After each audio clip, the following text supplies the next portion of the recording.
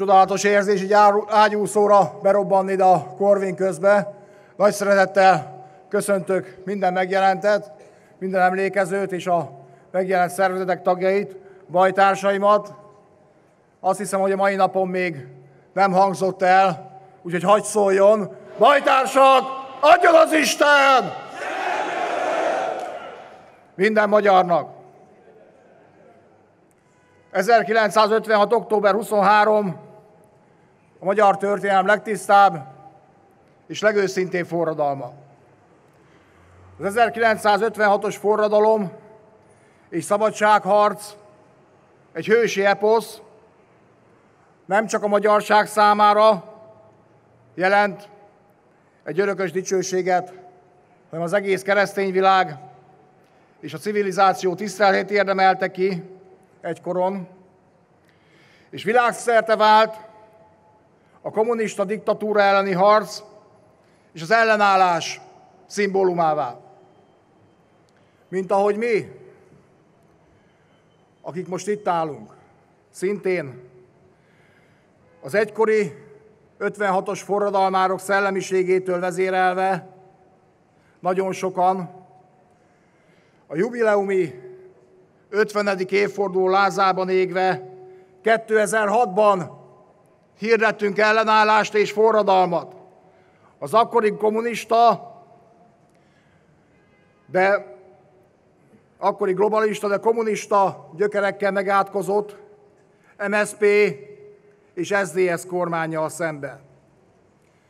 De ugyanúgy 1956 szellemisége most is velünk él, és az sem véletlen, hogy a Magyar Gárda 2007-ben 56 fővel bontott zászlót, mint ugyanúgy, ahogy szervezetünk, a Magyar Önvédelmi Mozgalom is 56 fővel bontott zászlót, nem készültünk rá, de bizonyára bevonzottuk.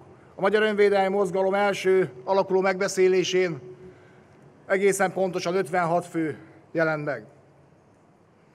Mi, a Magyar Önvédelmi Mozgalom tagjai és a többi hazafias szervezet, a hazafias erők, most is 56 szellemére végezzük társadalmi vállalásainkat, és készen állunk arra, hogyha harcolni kell, akkor harcolni fogunk. És ha az életünket kell áldozni a magyar szabadságért, akkor történjen az úgy, hogy az, ahogy az, az Isten elrendeli. Ha halnunk kell, akkor halni fogunk. De az isteni igazságból és az isteni szabadságból soha nem engedünk. Minden háború vagy forradalom veszteséggel jár. És lehet, hogy a halott harcosokból először csak áldozatok, majd vesztesek lesznek. De mint az 56-os fiatalok példája is mutatja és elénk tárja, hogy mind az áldozatok, mind a túlélők ma egyaránt dicső hősei a magyar történelemnek.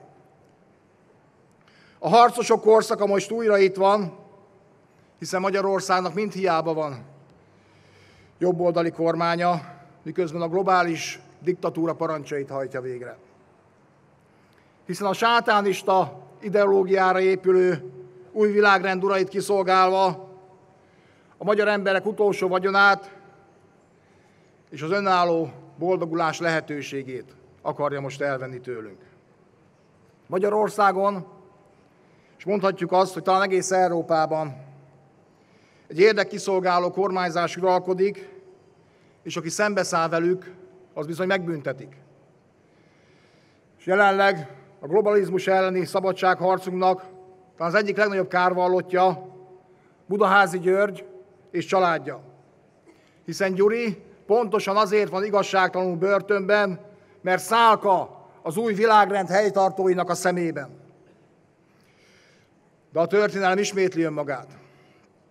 És ne feledjék szavaim a helytartók, hogy lesz olyan is, amikor nem a külföldről pénzelt szektatestvérek, a Momentum, vagy a DK által szervezett hívek mennek tüntetni. Hiszen van egy tábor Magyarországon, aki nem fél. Ugyanúgy, ahogy az 56-os forradalmárok sem féltek. Mert az ellenség az mindig ugyanaz, de a szabadságharcosok újra és újra megszületnek. És bizony, ők azok. Mi vagyunk azok, akik egyszer csak meg fogunk indulni megint. Igen. Mindig megszületnek azok, akik harcolnak és nem félnek. Mint ahogy most is itt álltok előttünk, mindazok, akik nem féltek sem a cigány bűnözőktől, sem az új világrend hazai zsoldosaitól. Mert a nemzet szíve most is dobog, mint ahogy 1956-ban egyként dobbant, és az a szívdobbanás akkor megrengette az egész világot. És a pesti srácok molotov koktéljai berobbantották a pokol kapuját. Az Istennel, a hazáért, a szabadságért. Előre, mint pesti srácok. Most rajtunk a sor. Egység, erő, összefogás 1956 szellemében. De még mielőtt befejezném a felszólalásomat, elmondanék egy hadsoros rövid verset, amit ezelőtt egy évvel írtam, 1956. október 23 emlékére, és amit egyszerűen nem lehet megjelentetni a közösségi médiákban, nem tiltanak érte, nem büntetnek, ha megpróbálom közzétenni, csak egyszerűen nem látható senki számára, pedig csak az igazságról szól, és a magyar, a magyar szív fohászáról szól. Fohász a szabadságért, ezt a címet adtam neki. Ó, jöjj el, október tüzes hajnala, szabadság vágyának, ékes diadala, vezess minket, az újkor emberét, egy szent honvédő harcba. Most kell vigyáznunk Európa hitét, a dicső nemzetek bölcsőjét, adj hozzá nekünk erőt, és segíts győzelemre Attila hős népét. Ó, jöjj el, október tüzes hajnala, a magyar szabadság égi dallama.